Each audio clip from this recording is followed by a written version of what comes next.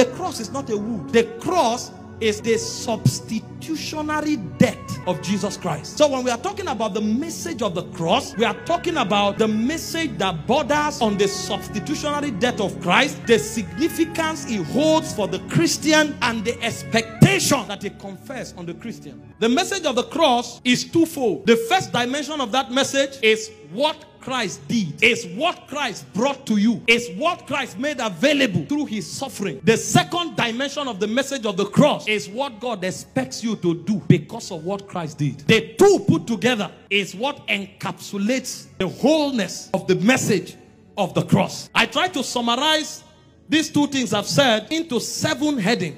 Number one is redemption and atonement.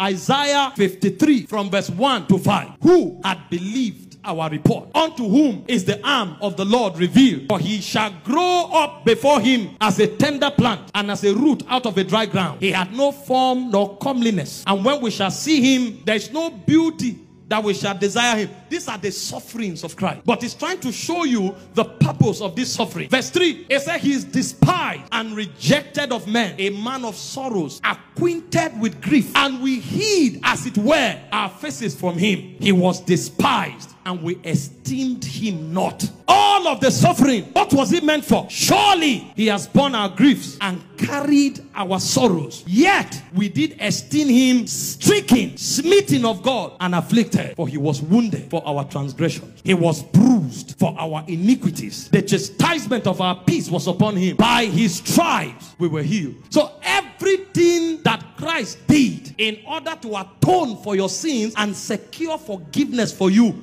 is part of the message of the cross. The second message of the cross is the manifestation of the sacrificial love of God. John 3:16 For God so loved the world that he gave his only begotten son that whosoever believeth in him should not perish but have everlasting life. There was nothing that had the power to pay for our sins. And when God didn't find anything, God made himself to become a man so that he will die for us. Philippians 2 from verse 5 to verse 8. Think of yourselves the way Christ thought of himself. For he had equal status with God, but didn't think too much of himself that he had to cling to the advantages of that status no matter what. He said, Not at all.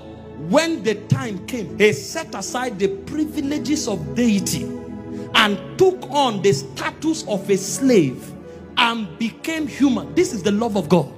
When it was time to save man, he removed all the privileges of a God. He became a man. Among men, he was a slave. And he was not just a slave, he was killed like a criminal. Can you imagine the shame? Jesus hung on the cross naked. His mother was looking at him. It's called the sacrificial love of God. This is what gives us confidence with God. That's why Paul was speaking in Romans 8:32. He said, If he did not withhold his only begotten son, but gave him freely for us, how shall he not with him? Because this is the highest demonstration of love. Jesus was speaking, even among men, men that are nothing. He said, There's no greater love than this that a man gives his life for his friend. These are men that have nothing, no status, nothing.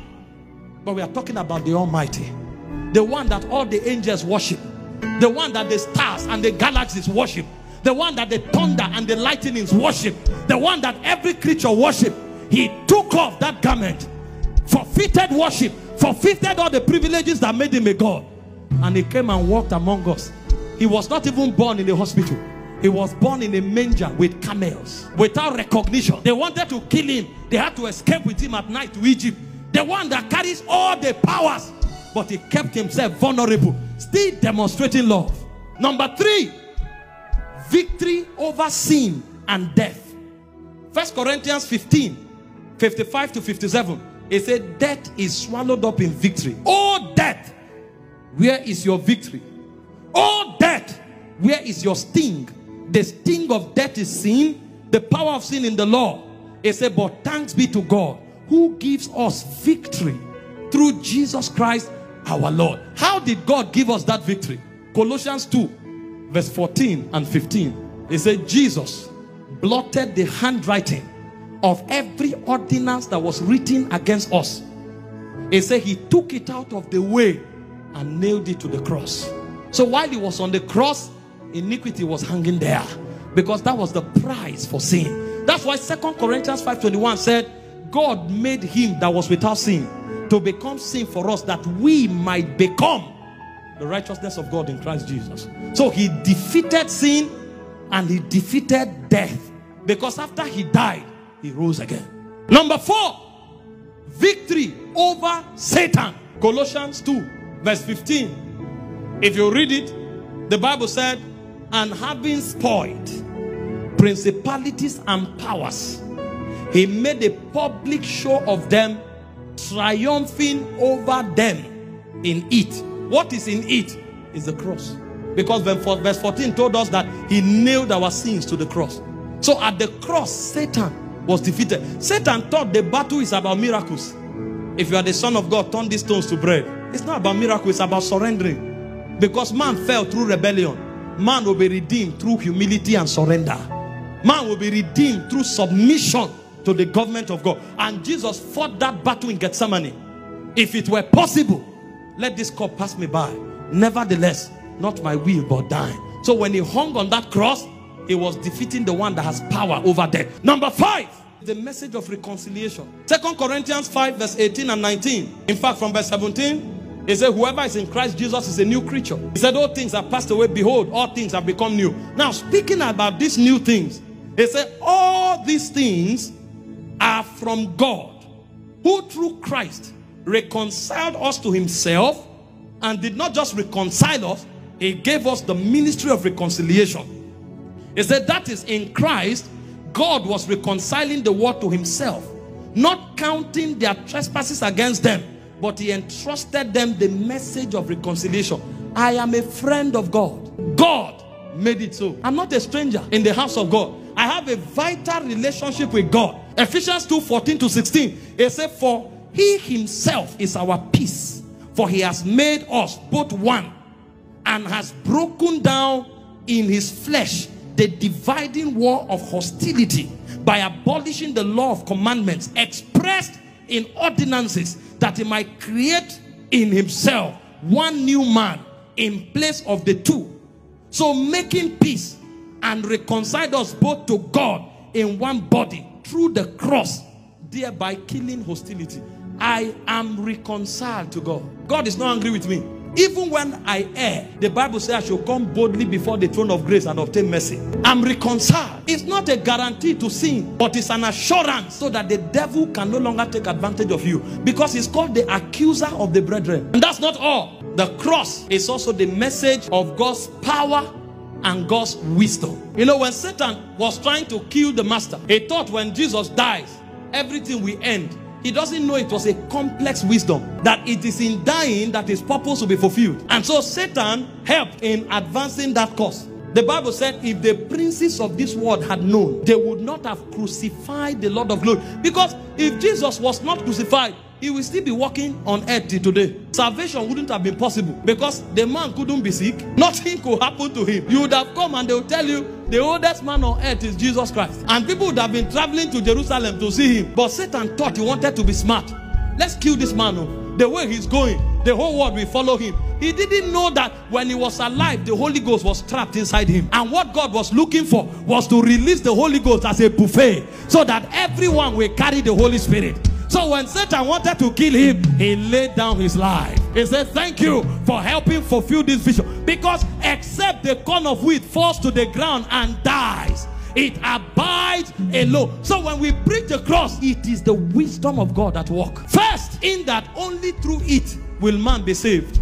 Second, in that only through it will the anger of God be appeased. And third, in that through it the foolishness of Satan was made manifest. And finally, which is the second dimension, the message of the cross is the message of self denial. It is God inviting you to live like Jesus Christ. Because for Jesus to do all of these things, he had to let go of his ambition, he had to let go of his will, he had to let go of everything to be able to do this. And we were also invited to live a life of self denial. You don't know the cross except you stop living for yourself and start living for God. Anybody living for himself has not encountered the message of the cross. The moment you get to know the message of the cross, the code of your life becomes the code of self denial. Luke 9 23. He said, If any man will follow me and be my disciple, he must first of all deny himself, carry his cross, and follow him. You are not following Jesus because you are an ardent member of a church. You are not following Jesus because you are a deacon. You are not following Jesus because you are a prophet. You are not following Jesus because you are an apostle. Jesus gave us the code for any man that will follow him. If any man will come after me, he said, Let him deny himself and take up his cross daily. So if you want to follow Jesus, self denial and sacrificial living will become the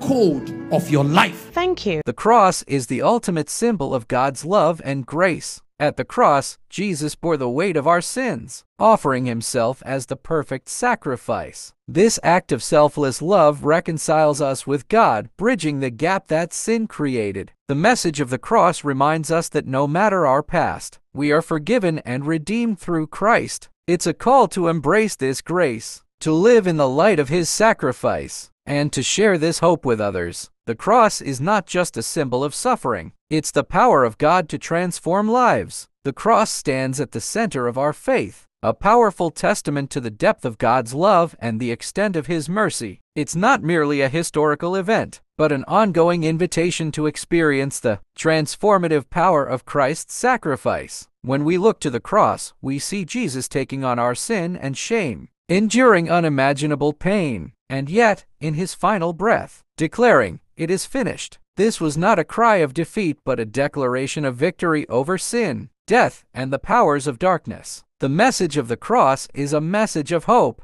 It tells us that no matter how deep our wounds, how far we've strayed, or how heavy our burdens, Jesus has already borne it all. His sacrifice has made a way for us to be reconciled with God, to be made new, and to live in the freedom of His grace. The cross calls us to respond not just with gratitude, but with a life surrendered to God, walking in the newness of life that Jesus purchased for us. And as we carry our own crosses daily, we are reminded that suffering is not the end of the story. The cross leads to resurrection, and through Jesus, we are promised eternal life. Let the message of the cross be your strength in trials, your comfort in sorrow, and your guide as you walk in the love and grace of Christ. God bless you.